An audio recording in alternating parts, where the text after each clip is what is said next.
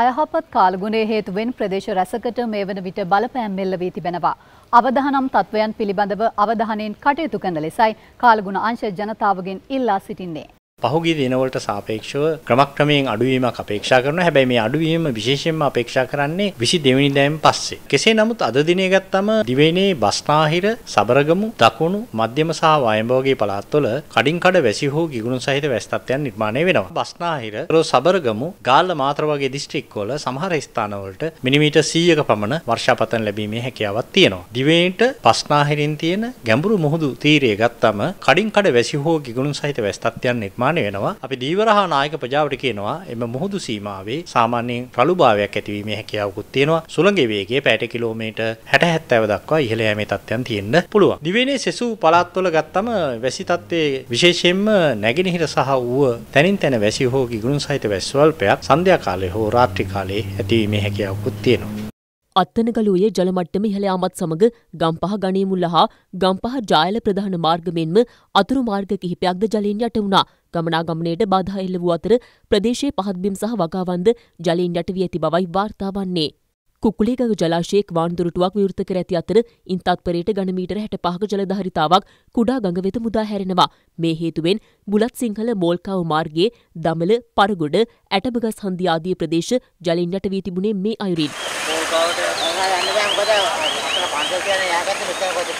ගිංගගේ ඉහළ පෝෂක ප්‍රදේශයට අධික වර්ෂාවක් පතිතවීමත් සමග ගඟේ ජලමට්ටම ඉහළ ගොස් තිබෙනවා. සැඩපහරට හසු වී ගසාගෙන උණගස් විශාල සංඛ්‍යාවක් වක්වැල්ල පාලමේ සිරවීමෙන් ජලය ගලා යාමට බාධා පැමිණ තිබෙනවා. අයහපත් කාලගුණේ හේතුවෙන් එක් පුද්ගලයෙකු අතුරුදන් වැති අතර තවත් පුද්ගලයන් දෙදෙනෙකු තුවාල ලබා ඇති බව ආපදා කළමනාකර නිලධාරීන් පවසනවා. කළුතර දිස්ත්‍රික්කය, උත්තලම් දිස්ත්‍රික්කය, කෑගල දිස්ත්‍රික්කය සහ රත්නපුර කියන දිස්ත්‍රික්ක හතර තමයි ප්‍රධාන වශයෙන්ම ප්‍රාදේශීය ලේකම් කොට්ටාස 20ක් පුරා මෙම පීඩාවට පත්වුණු ජනතාව අපිට වාර්තා වෙන්නේ. බලපෑම් ලැබූ පෞල් සංඛ්‍යාව 1119ක් මේ වෙනි විට වාර්තා වෙලා පවතිනවා. මේ පුද්ගලයන් වශයෙන් 3732ක් මේ වෙනි විට ආරක්ෂිත ස්ථාන ප්‍රමාණය දෙකක් දක්වා අපිට වාර්තා වෙනවා. විශේෂයෙන්ම මෙම ආරක්ෂිත ස්ථාන දෙක දෙකම වාර්තා වෙන්නේ පුත්තලම් දිස්ත්‍රික්කයෙන් 51 දෙනෙකු తాවකාලිකව ආරක්ෂිත ස්ථාන දෙකක් පුරා රඳවා තිබෙනවා. ඉතින් ඔවුන් සඳහා අවශ්‍ය සහන වැඩපිළිවෙල ක්‍රියාත්මකයි. වාන්දොරට විවෘත කිරීම කළුතර දිස්ත්‍රික්කය කුකුලේගඟ ජලාශයේ වාන්දොරට එකක් දැනට ඝනමීටර එකක් දක්වා විවෘත කරලා තිබෙනවා. කුඩාගල දිස්ත්‍රික්කයේ ජදුරුවේ ජලාශයේ වාන්දොරට දෙකක් අඩි එක බැගින් විවෘත කරලා තියෙනවා. පුද්ගලයන් 1038ක් තවදුරටත් ඥාති නිවාසවල රැඳී පවතිනවා. ඔවුන් සඳහාද සහන වැඩපිළිවෙල ක්‍රියාත්මක වෙනවා. නායම් ලක්ෂණ පිළිබඳ විමසලිමත් වන්න ගස් ඇලවේ නම් ආගන්තුක දිය උල්පත් ඇතිවීම හෝ යම් උල්පත් සිඳියම් ඇතිවේ නම් පොළවේ ඇතිවෙන පැලුම් ඉරිතැලීම් පිළිබඳ අවධානයෙන් පසු වෙන්න ඔබ මෙවැනි අවස්ථාවක් දුටුවාම එම ප්‍රදේශවලින් తాවකාලිකව ඉවත් වීම ඉතාමත් වැදගත් වෙනවා. කළුගඟෙහි උපද්‍රෝණිය සඳහා නිකුත් කළ අනතුරු ඇඟවීම් තවදුරටත් ක්‍රියාත්මක බව වාරිමාර්ග දෙපාර්තමේන්තුව දැනුම් දෙනවා. විශේෂයෙන්ම කළුගඟේ කුඩාගඟ අතුගංගාවේ බුලත් සිංහල මතුරාවල පාරින්දනුවර සහ මිල්ලනිය වැනි ප්‍රාදේශීය ලේකම් කොට්ටාශවල ඇතැම් පහත් බිම් ප්‍රදේශ මෙවැනි විටත් ජලයෙන් යට වී පවතිනවා.